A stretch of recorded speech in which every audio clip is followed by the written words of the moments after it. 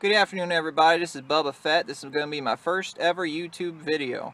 So, a, bit, a little bit nervous, uh, hopefully I don't trip over my words too much. In this video I'm going to show you the quickest way to install a CB radio in under 15 minutes in your truck. Um, a lot of people get a CCB radios and they're not familiar with how to wire stuff.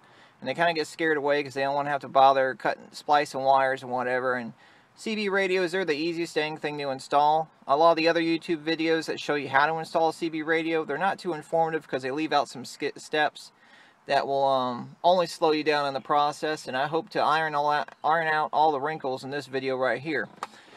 Um, I have a Ford F-150. It's a um, 2006 model.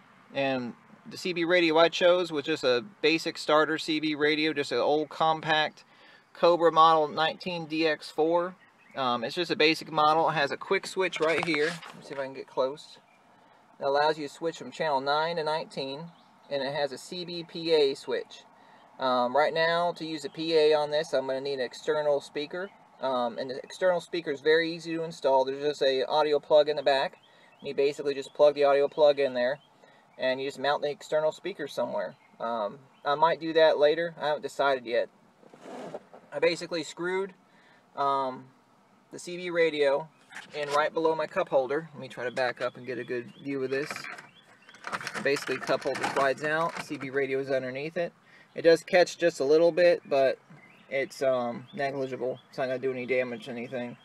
I chose this location because it's the easiest location for me to select and operate the CB radio from the driver's seat.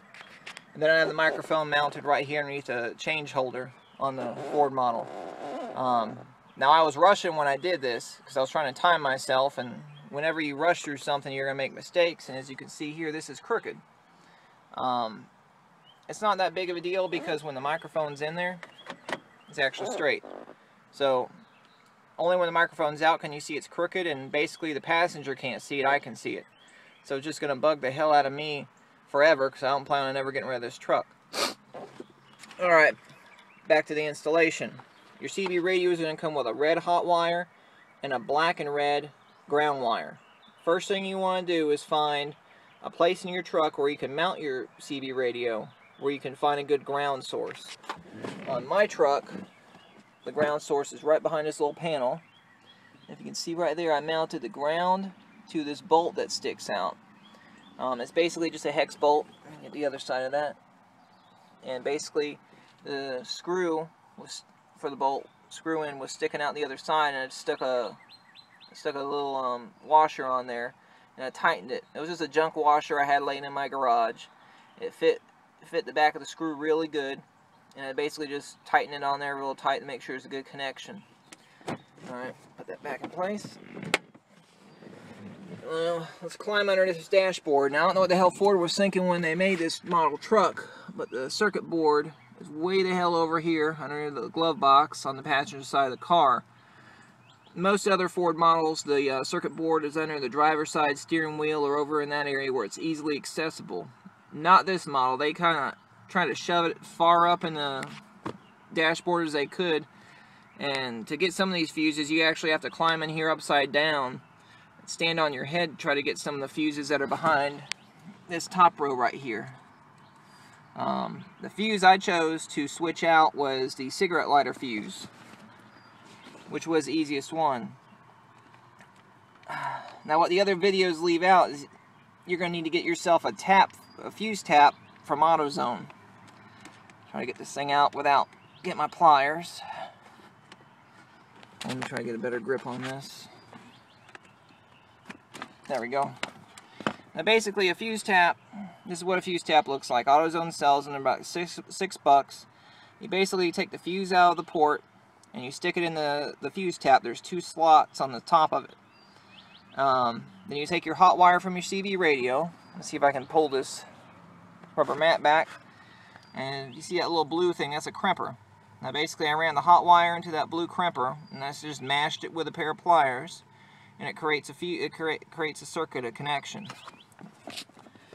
and then basically make sure your cigarette lighter fuse is in here good and then you just stick the fuse tap in the slot where the fuse went make sure it goes in there good I'll put that thing back on later.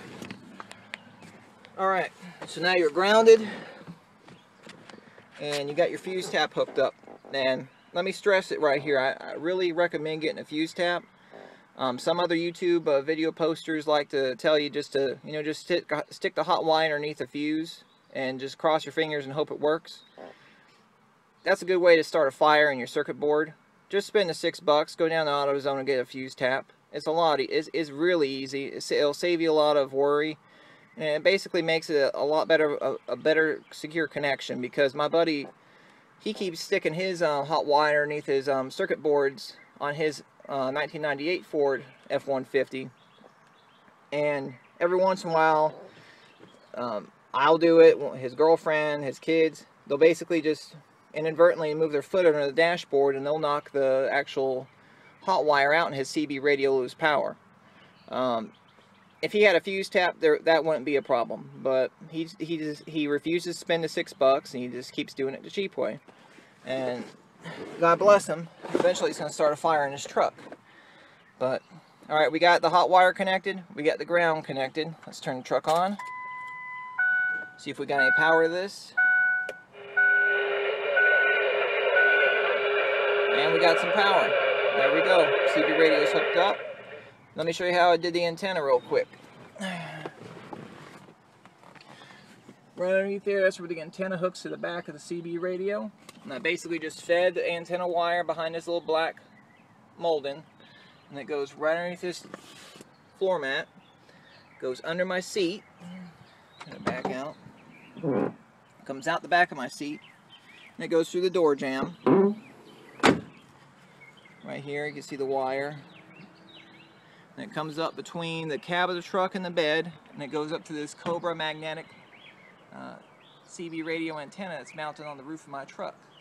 I chose to go with a magnetic CB radio antenna because basically this is a temporary installation until I can get myself a uh, new toolbox that's not broken and I'm basically on the new one I'm going to mount this CB radio antenna to the back with a CB radio antenna mount bracket but the magnetic one's doing its job just fine right now. And in fact, this uh, antenna needs to be tuned properly. Right now it's not tuned, so I'm kind of getting a wonky reception in my truck. Um, so once I get my um, CB radio tuner in the mail, I guess that'll be my second or third video I'm going to post on YouTube is how to tune your CB radio um, with a tuner to get the best reception possible out of it. But I, again, I highly recommend the magnetic one. This way you don't have to drill into your truck um, at all. And I highly recommend just getting the, um, if you have a toolbox in the back of your truck, just mounting it there. And then basically you can feed it the, the cable underneath your toolbox. And then basically it would just come out the back here and then go into the door jamb and under the seat and go right back to the CB radio. And again, you don't have to drill into anything. And that's ideal for me because I don't really want to drill into my truck that does not appeal to me in the slightest. But, alright, well I hope this video was helpful to you. Um, please share any feedback about it. And I'm going to get busy working on my next YouTube video. God bless. Have a good day.